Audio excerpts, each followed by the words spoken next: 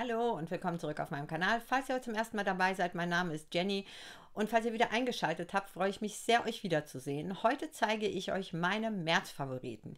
Die Düfte und Pflegeprodukte, die ich in diesem Monat rauf und runter getragen habe, von denen ich nicht genug bekommen konnte, die zeige ich euch heute. Also wenn es euch interessiert, bleibt bitte gerne dran und wenn ihr noch nicht Teil unserer wunderschönen Parfümfamilie hier seid, vielleicht überlegt ihr es euch, abonniert meinen Kanal. Mich würde es wahnsinnig freuen, euch hier zu begrüßen. Und ich möchte heute auch gar nicht lang drum herum reden. Wir starten direkt mit den Düften. Ich habe Designer und Nische, alles im Prinzip dabei. Ähm, ich starte mit dem ersten, der wirklich jetzt im Monat März mein, ja, sehr häufiger Begleiter war. Ich finde den einfach nur wahnsinnig toll für einen Designerduft und zwar ist das Chloé Nomad Naturell. Und ich kann euch nur sagen, wenn ihr die Nomad-Reihe bisher nicht mochtet und es geht euch so wie mir, denn ich mochte sie nicht, Probiert den naturell mal aus. Das ist ein ganz eigenständiger anderer Duft und der hat mich umgehauen. Ich finde, der riecht wie ein Nischenduft. Ich finde nicht, dass er riecht wie ein Designer. Der ist spannend, der ist zu keinem Zeitpunkt langweilig. Das ist ein blumig süßer Duft. Und wir haben hier Bergamotte, Jasmin, Dattel, Vanille und Sandelholz. Ich finde, der ist würzig, einen Hauch. Ich finde, der ist auf jeden Fall süß. Die Dattel gibt ihm mit der Vanille schon sehr viel Süße. Das Sandelholz fängt das aber alles wieder so ein bisschen auf.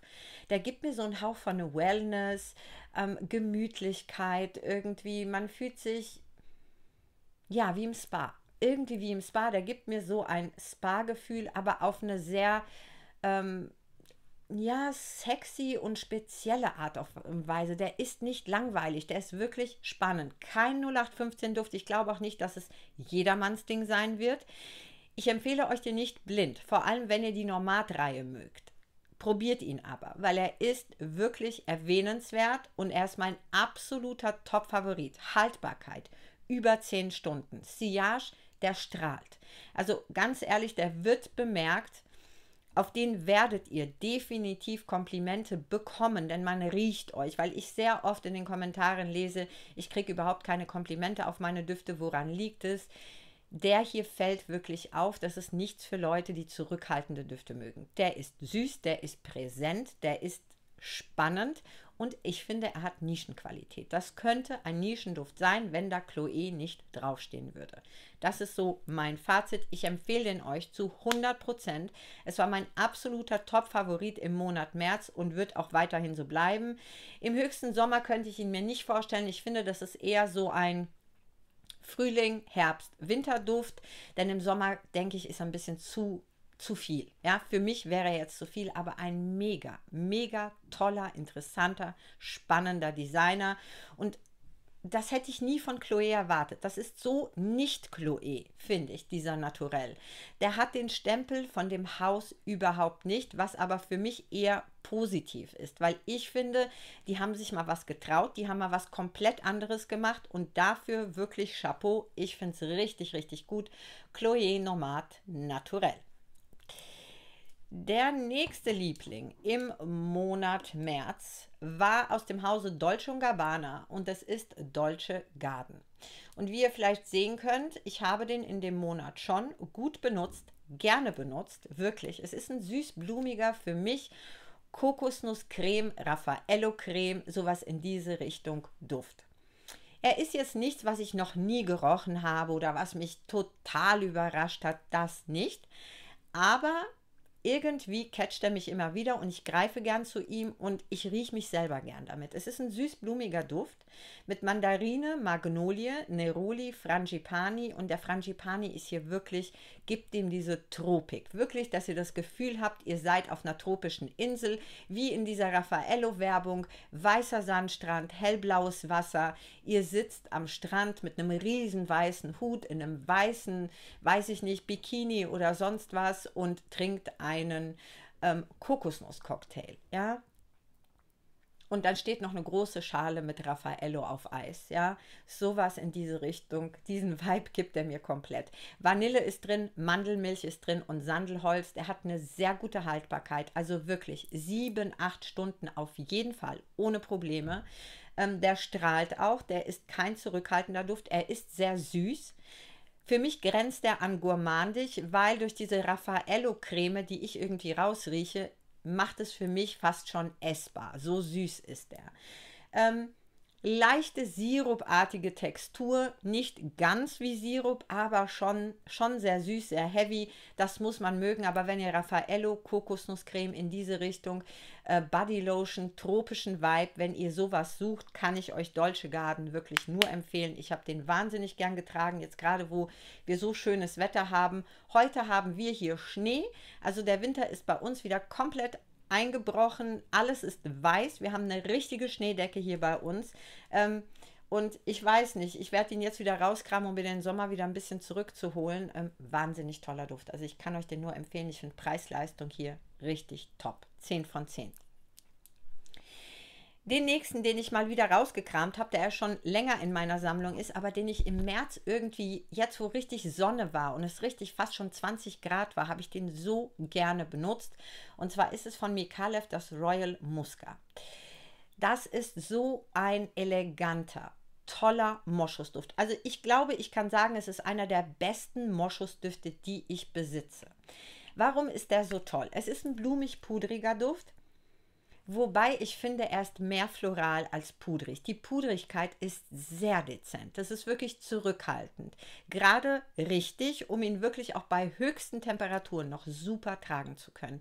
Der gibt einem so eine Leichtigkeit. Das ist irgendwie so ein kristallklarer, weißer, gepflegt Duft. Ja, wirklich frisch aus der Dusche und so Moschus gepflegt, überhaupt nicht animalisch. Wer jetzt Probleme hat mit animalischen Moschusdüften, empfehle ich den Royal Muscat. Das ist ein Moschus, der ist null animalisch, der ist weiblich, der ist so ein Immergeher. Das ist so ein wirklich gefälliger und ich glaube, jeder wird den mögen. Männer fahren übrigens total auf den ab. Mein Mann vergöttert diesen Duft. Hätte ich nicht gedacht, weil er auch so unauffällig eigentlich ist, aber er hat das gewisse Etwas. Wir haben hier Himbeere, Pfirsich, damit war ich sowieso schon gekauft. Rose, holzige Noten, Moschus, Ilang-Ilang, Benzoe und Moschus. Der ist wirklich Moschus, Moschus pur. Aber er hat diese minimale Fruchtigkeit, wobei die Himbeere und der Pfirsich sehr zurückhaltend sind. Aber so ein bisschen kitzelt das ähm, die Fruchtigkeit doch raus, was ihn wiederum spannend macht. Die holzigen Noten erden ihn so ein bisschen. Ähm, alles in allem, der ist wirklich elegant, der ist classy, der ist weiblich, obwohl ich finde, der würde auch Unisex gehen. Definitiv. Wenn Männer ähm, so ein bisschen süßliche Moschusdüfte, der ist wirklich nur ein Hauch süß. Minimal, minimal floral und eben ein bisschen pudrig, aber wer sowas mag, ich kann euch den nur ans Herz legen, der ist wahnsinnig gut. Haltbarkeit hier so etwa um die acht Stunden auf meiner Haut, aber das ist kein Biest. Er strahlt nicht wahnsinnig aus. Es ist ein etwas intimerer Duft, aber ihr werdet euch selber genießen. Das ist ein wahnsinnig, wahnsinnig tolles Erlebnis, gerade wenn die Temperaturen hochgehen. Den empfehle ich auch absolut für den Sommer. Ähm, das wird mein Begleiter im Sommer auch sein. Definitiv Royal Musca von Mikalev. Mega, mega Duft. Der nächste kommt aus dem Hause Joe Malone und es ist Wood Sage and Sea Salt. Wood Sage and Sea habe ich eigentlich für meinen Myrrh und Tonka besorgt zum Layern, weil ich die zwei zusammen einfach nur atemberaubend gut finde. Aber, surprise, surprise, im Monat März habe ich immer öfter zu ihm alleine gegriffen und irgendwie jeden Tag, wo ich den getragen habe, habe ich mir so gedacht, wow, eigentlich ist der alleine auch eine Granate. Und ich möchte meine Review von letztem Mal ein bisschen korrigieren, denn ich habe ihn jetzt mehrmals getragen. Und ich kann nur sagen, die Haltbarkeit, die ich so bemängelt habe, ist gar nicht so schlecht, wie ich dachte. Ich sage es euch ehrlich. Ja, es ist ein leichter Duft, definitiv. Es ist ja ein frisch holziger Duft. Ich habe euch das schon gesagt, das geht so ein bisschen in die Richtung Eccentric Molecule Molecule 01 sowas in diese Richtung. Aber ich finde, der Joe Malone hat noch diesen, mh, mm, dieses Extra, was mich, ich weiß nicht, ob das der Salbei hier drin ist. Hier ist ja Salbei drin, obwohl ich eigentlich gedacht habe, ich mag die Duftnote nicht. Aber anscheinend mag ich sie doch. Wir haben Ambrettsamen, die mag ich sowieso, das weiß ich. Meersalz. Meersalz ist nicht immer mein Ding. Ich mag aquatische Noten nicht so gerne. Mineralische Noten ist drin drin und Salbei. Aber diese Kombi, so wie sie ist, kann ich euch nur sagen, hat mich im März richtig gecatcht. Ich habe den, glaube ich, fünf Tage am Stück getragen. Das ist für meine Verhältnisse mit meinen ganzen Düften hier wirklich viel, Leute. Also das ist wirklich oft und viel. Das sind schaffen nur Düfte, die wirklich in meinem Herzen landen, wo ich echt sage, wow. Und der hat mich durch den Tag begleitet. Ja, ich habe den wahnsinnig übersprüht. Ich habe den zwölfmal oder so gesprüht. Definitiv. Aber dann war der da und der war frisch da und dieses Holzige, der erfrischt einen, der macht irgendwie so einen Energiekick. Ja, ich war so richtig energiegeladen, ich hatte Lust, was zu machen. Ähm, also, ich kann nur sagen, mega toller Duft. Haltbarkeit würde ich sagen so an die sechs Stunden. Sechs Stunden ist er da. Danach war er sehr hautnah, aber ich konnte mich immer noch riechen. Also so am Handgelenk, wenn ich mal gerochen habe zwischendurch, weil ich mache mir meistens noch die Handgelenke. Ich habe ihn wahrnehmen können und ich bin Riesenfan von dem Duft. Und ich glaube, wenn es richtig warm wird, wird das einer meiner Top-Favoriten. Joe Malone Wood Sage and Sea Salt. Ich zeige euch nichts Neues. Ihr kennt den Duft und ich weiß, er hat schon viele Fans. Aber ich bin neu dabei im Club. Ähm, Wood Sage and Sea Salt, mega, mega Duft. Der wird auch im Sommer bei mir bestimmt in einigen Halls noch vorkommen. Der nächste, den kennt ihr auch aus meiner Sammlung und zwar ist es die Oriana von Parfum de Mali. Immer wieder toller, mega süß, fruchtiger Himbeer-Marshmallow-Traum. Das ist wirklich cremig, sahnig mit Mandarine und Bergamotte. Der öffnet minimal zitrisch, aber süß zitrisch mit Grapefruit. Dann kommt die Orangenblüte mit schwarzer Johannisbeere und Himbeere, Marshmallow, Sahne am Brett und Moschus. Der Parfum de Mali Stempel ist hier vorhanden. Ihr werdet ihn wieder erkennen, wenn ihr die Düfte schon kennt. Aber der hier ist wirklich mein absoluter Favorit. Er hat einen Hauch Love Don't Be Shy by Kilian in sich. Trotzdem ist das hier noch ein ganz anderer Duft. Er ist sahnig, er ist cremig, er ist laktonisch, ähm, er ist sehr gourmandig, er riecht wirklich essbar, aber auf die edelste Weise, die mir einfällt. Sehr weiblich, auch jugendlich, verspielt, aber für jede Altersklasse. Ich liebe den einfach. Ich liebe ihn einfach. Der begleitet mich den ganzen Tag. Auf meiner Haut hält er zehn Stunden aufwärts. Ähm, also der ist wirklich von der Haltbarkeit für mich nicht zu schlagen. Ich habe Leute gehört, die sagen, ähm, er würde an ihn überhaupt nicht halten. Ich kann das überhaupt nicht bestätigen. Ähm, ich würde sogar sagen, er hält an mir einen Hauch schlechter als die Delina, aber wirklich nur einen Hauch. Mega, mega toller Duft und ähm, ja, absoluter Favorit im Monat März, die Oriana von Parfum de Mali. Der nächste kommt aus dem Hause Kilian und ist ein etwas neuerer Duft in meiner Sammlung. Und zwar ist es der Apple Brandy on the Rocks von Kilian. Das ist ein absoluter Unisex-Duft. Ich finde, der lehnt weder noch. Der ist genau in der Mitte. Es ist ein fruchtig, würziger Duft mit Bergamotte, Ananas, Kardamom, Rum, Moos, Vanille, Zedernholz und Ambroxan. Das Ambroxan nehme ich hier wirklich sehr stark wahr. Also wer ambroxanhaltige Düfte nicht mag, der sollte die Finger von dem lassen, wird nicht euers sein. Diese Bergamotte und Ananas, dieses Gemisch ist schon sehr zitrisch, aber süß-zitrisch. Also er ist nicht säuerlich, aber er lässt euch so ein bisschen das Wasser im Mund zusammenlaufen, besonders das Opening. Trotzdem erinnert es mich an einen grünen Apfel. So rieche ich das raus. Dann ist die Rumnote sehr schön präsent und das Moos kommt hinterher mit der Vanille. Ich finde den mega. Die Haltbarkeit von ihm ist nicht die allerbeste. Ich würde sagen sechs, maximal sieben Stunden. Aber wenn es richtig warm wird, denke ich, reicht mir das absolut aus. Ich habe kein Problem mit der Haltbarkeit. Für mich reicht es definitiv. Aber der ist so speziell, der ist so besonders. Das ist wirklich so ein beschwipster grüner Apfel für mich. Und ähm, ich bin Riesenfan. Ich liebe diesen Duft und habe den im März wirklich jetzt sehr oft benutzt, ähm, als es richtig warm war hat er gespielt wie verrückt. Wirklich, der hatte eine bombastische Sillage, der war da, ich habe den gerochen, weil im Winter ist er ein bisschen verloren gegangen. Wenn es sehr kalt war, ähm, war der nicht da. Ja, die Sillage war sehr hautnah, aber im Sommer, sage ich euch, spielt der toll und ich bin ein riesen, riesen Fan und mag den wahnsinnig gerne. Apple Brandy on the Rocks von Kilian. Den nächsten habe ich euch auch schon des Öfteren gezeigt und ich finde, es ist der beste Duft aus der kompletten Daisy-Reihe und zwar ist es das Daisy Oh So Intense. Alle Erdbeerliebhaber, die Erdbeere mögen und Honig mögen, schaut euch den an und auch wenn ihr die Daisies bisher alle nicht so ganz mochtet, probiert den trotzdem aus. Der hier ist richtig gut. Es ist ein fruchtig, süßer Honig, Erdbeere, Rose und Moos. Und dieses Moos gibt ihm am Ende im Drydown so eine leichte grüne Note.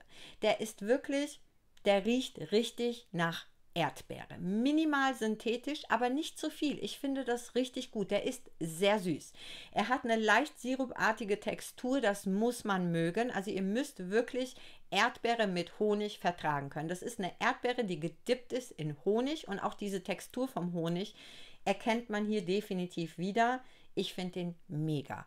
Haltbarkeit sieben Stunden ist er auf jeden Fall da. Der hat eine sehr gute Sillage und er ist mein liebster Daisy. Ich habe einige aus der Reihe, aber Oh So Intense ist von der Haltbarkeit, von der Sillage und vom Duft, finde ich, meine absolute Nummer 1. Und ich habe den im März wirklich, wirklich oft getragen. Ihr könnt es jetzt nicht sehen, weil der golden ist, aber wenn ihr seht, also ich habe praktisch so viel von der Flasche bereits benutzt. Das ist für meine Verhältnisse wirklich, wirklich viel. Ich liebe, liebe diesen Duft. Der nächste kommt aus dem Hause Tiziana Terenzi. Und ähm, ja, der Duft ist mein absoluter Favorit. Es ist Andromeda aus der Luna Collection. Andromeda ist ein Duft, der einfach immer geht. Wenn ihr etwas blumig, fruchtiges, cremiges für jeden Tag wollt, etwas, wo ihr gepflegt seid, einfach nur riecht, als wärt ihr gerade aus der Dusche gekommen mit frisch gewaschenen Haaren, eingecremter Haut, mit einer schön duftenden Bodylotion, empfehle ich euch Andromeda. Ganz sicher. Meine Nummer eins, wenn es um diese Art von Düften geht.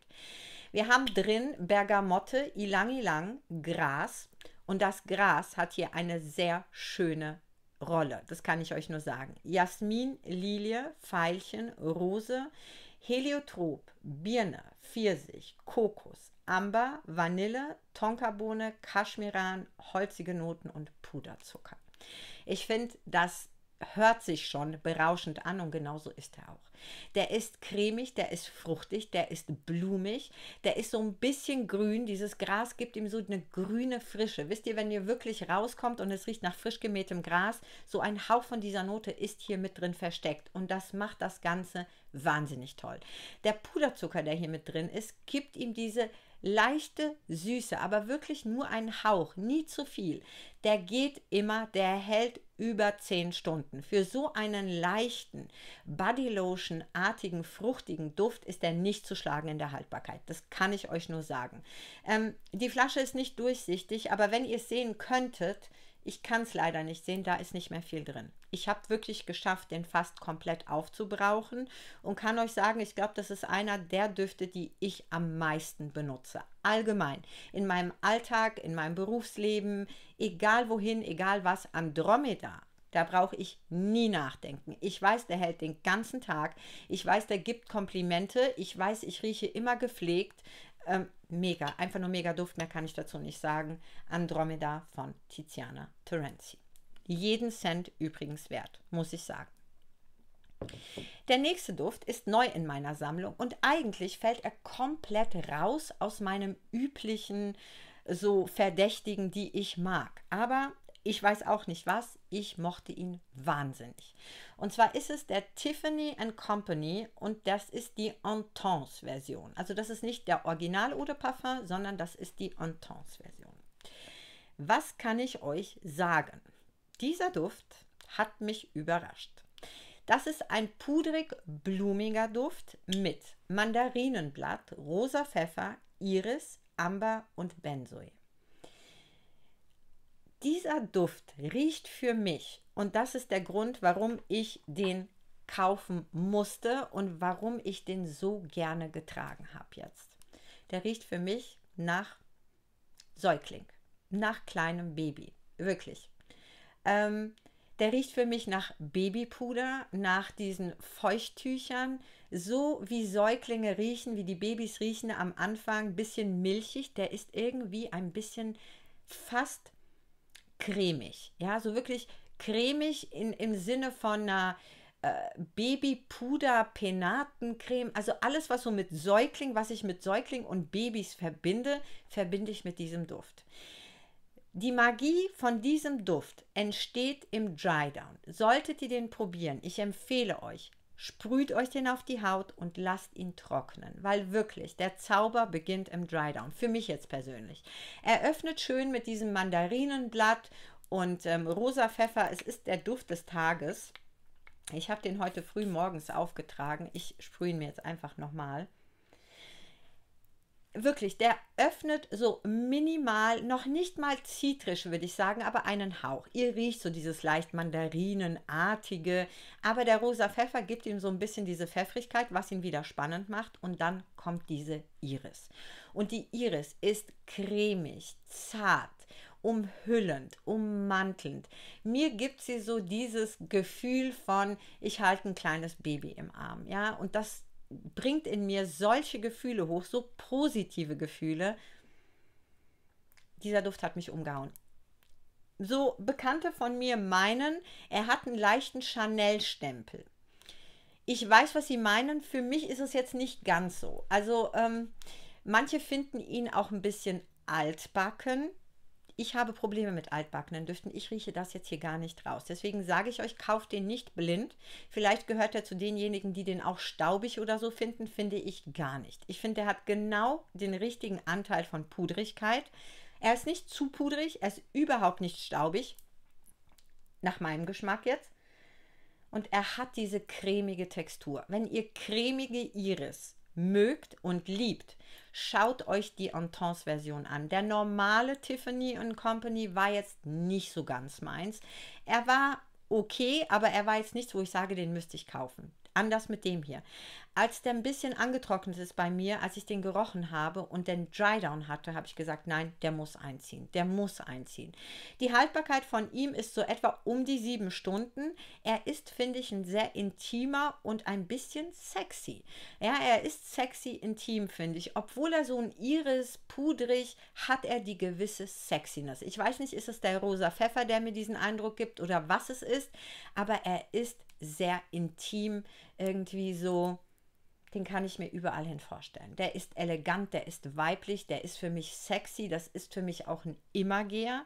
Den kann ich mir immer vorstellen, überall hin, aber man muss die Iris mögen. Wenn ihr Iris nicht mögt, ist das nicht euer Durst. Der ist wirklich, hier ist die Iris der Hauptdarsteller und das muss man wirklich mögen Leute, ich bin ein Riesenfan von dem Duft und ich sag euch, eigentlich passt der nicht so in mein Beuteschema. Eigentlich ist Iris auch nicht einer meiner liebsten Duftnoten, aber diese Iris hier und diese Verbindung zu diesem Babygeruch, ja, also wirklich so diesen Babyfeuchttücher, Babypuder, Babycreme, so alles, was das angeht, das verbinde ich mit Tiffany Co. Intense. Also, ich persönlich, mein absoluter Favorit im Monat März. Und jetzt habe ich die zwei absoluten Top-Favoriten für euch. Ohne die, die haben es geschafft von 0 auf Top 10 for Life. Alle beide. Ich will sie auch jetzt nicht irgendwie den einen mehr oder den anderen weniger loben, weil sie stehen absolut auf gleicher Ebene. Einmal ist es das Tom Ford Bitter Peach ich habe von dem Duft euch schon vorgeschwärmt. Wir hatten einen schweren Start, aber umso mehr liebe ich ihn jetzt. Es ist Gott, wenn ich daran rieche, oh mein Gott, ich wünschte, ich wünschte, ich könnte euch diesen Duft einfach so durch die Kamera weiterleiten, wie gut er ist. Wenn ihr Pfirsich Creme Dessert, wenn ihr das mögt, mit so einer leichten alkoholischen Würzigkeit, testet den. Testet den. Von den Tom Fords, von meinen Tom Fords, ist er der mit der besten Haltbarkeit. Der hält wirklich und ist damit für mich jeden Cent wert. Wir haben Pfirsich, wir haben Blutorange, wir haben Kardamom, wir haben Heliotrop, Rum, Cognac, Jasmin, Sandelholz, Benzoe, Kaschmeran, Vanille, Tonkabohne und Patchouli. Auch Patchouli ist hier zu riechen. Wenn ihr Patchouli nicht mögt, werdet ihr wahrscheinlich Bitter Peach auch nicht mögen. Für mich ist das eine sexy Pfirsichcreme, ein bisschen mit dieser alkoholischen Note, eine bisschen arrogante Würzigkeit. Gott, der geht immer für mich. Der hat eine gewisse Tropik auch. Für mich ist es einfach alles. Einer der schönsten Pfirsichtüfte für mich persönlich dieses Planeten. Ich kann, also ich glaube, ich glaube, ich kann sogar sagen, er ist einer meiner Liebsten aus dem Hause Tom Ford. Einfach nur, wie gesagt, von null auf Top 10 for Life. Ich genieße den so sehr. Wenn er nicht ganz so teuer wäre, würde ich ihn wahrscheinlich noch mehr benutzen. Aber ich schaue ein bisschen, dass ich es nicht übertreibe. Aber Leute, Haltbarkeit über 10 Stunden. Der hat eine wahnsinnig tolle Sillage. Der wird gerochen. Ihr werdet euch selber riechen. Einfach nur 10 von 10 für mich. Einer der besten von Tom Ford, meiner Meinung nach. Ist Unisex tauglich, wenn es ein Mann ist, der wirklich fruchtige, pfirsich, süße Düfte mag. Das ist Voraussetzung. Aber würde auch für Unisex auf jeden Fall was taugen. Zu dem Bitter Peach möchte ich noch ganz kurz noch zwei Produkte zeigen, die ich im März definitiv so gerne mit ihm getragen habe. Die habe ich euch auch schon gezeigt. Und zwar ist das von Insana. Das ist einmal die Body Lotion mit dem Duschschaum zusammen und einmal der Body Mist. Die zwei, die riechen wahnsinnig gut nach Pfirsich und ähneln dem Bitter Peach passen wahnsinnig gut. Ich layer diese Geschichte komplett übereinander. Ich dusche mich mit dem Duschschaum, ich nehme den Body Mist drüber und danach benutze ich mein Bitter Peach. Und ich kann euch nur sagen, ihr werdet den ganzen Tag nach mega Hammer Pfirsich duften, wenn ihr Pfirsich mögt. Aber diese drei Sachen zusammen sind mega. Und ich habe weil ihr mich immer wieder fragt, wie ich es mache, dass meine Düfte länger halten, habe ich noch eine Bodylotion für euch. Und zwar habe ich die neu entdeckt in der Apotheke. Die wird es aber auch online geben, wo ich sage, wirklich Textur wahnsinnig gut. Und ich habe bemerkt, seit ich die benutze, halten meine Düfte viel besser alle.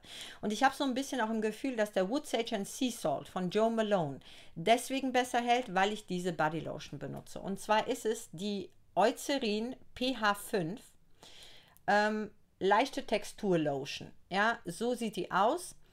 Ähm, ist wirklich eine Riesenflasche, 400 Milliliter. Das reicht auch für eine Weile, aber ich habe die wirklich, die ist hier. Also ich habe wirklich eine Menge benutzt. Ich kann euch nur sagen, mir hilft die sehr. Die Düfte halten besser. Ja, die Flasche ist jetzt kein Hingucker. Blendet das aus. Das, was drin ist, ist der mega Hammer. Ich kann es euch nur sagen. Riecht wunderschön, sehr neutral. Was ihr auch machen könnt, was ich zum Beispiel oft mache, kleiner Tipp. Ich nehme mir von der Body Lotion in die Handfläche ein bisschen so eine erbsengroßforme Portion, sprühe meinen Lieblingsduft auf die Body Lotion und schmiere mir das dann auf den Körper, wenn ich weiß, welchen Duft ich heute tragen möchte. Und dann sprühe ich drüber sozusagen meinen Duft. Und das Schöne ist daran, dass ihr nicht die teure Body Lotion kaufen müsst, die eben dann weiß ich nicht, 70 Euro kostet, sondern ihr kauft die, die glaube ich so unter 20 Euro kostet und habt 400 Milliliter davon und bastelt euch eine selber, ja, zu eurem Duft. Das funktioniert wunderbar, kann ich euch nur so als Tipp geben und wollte euch die einmal zeigen. Eucerin pH5 Mega, Mega Body Lotion. Und das andere Highlight diesen Monats für mich war eine absolute Neuentdeckung schlechthin. Kayali Invite Only Amber 23. Ein süß-würziger Traum für mich. Für mich ist er einfach nur sexy, Leute. Einfach nur würzig, sexy mit Schwarzkirsche, Honig, Tabakblatt, Zimt, Schokolade, geröstete Haselnuss, Rose, Zitrusblatt, Oud, Moschus, Benzoe, Amber, Sandelholz, Patchouli und Vanille. Also wenn das eure Duftnoten sind, probiert den aus. Für mich ist das der, die Entdeckung des Jahres 22. Ich kann es euch nur sagen. Dafür lasse ich sehr viele Nischendüfte gerne stehen. Ich weiß nicht, Kayali ist für mich kein Nischenduft. Ähm, deswegen, ich nehme das als Designer, auch wenn es vielleicht, ich weiß nicht, als was es gesehen wird. Ich sehe es als Designer. Ähm, der riecht einfach nur atemberaubend gut. Atemberaubend gut. Der hält an mir zehn Stunden mit einer bombastischen Sillage. Ähm, auf den wurde ich schon so oft angesprochen, auch von Männern sehr oft, denen der Duft für sich selber gefällt. Also absolut unisex-tauglich, kann ich euch nur sagen. Wenn ihr süß-würzige, fast schon gourmandige Düfte mögt, für beide, für Männer, für Frauen, schaut euch den an. Ich kann euch den nur ans Herz legen. Leute, der ist mega. Der ist einfach nur mega. Also aus dem Hause Kayali, ich mag alle, die ich habe. Ich habe drei Stück. Ich habe den Eden Juicy Apple. Ich habe den Vanilla 28, der mein absoluter Top-Favorit ist auch.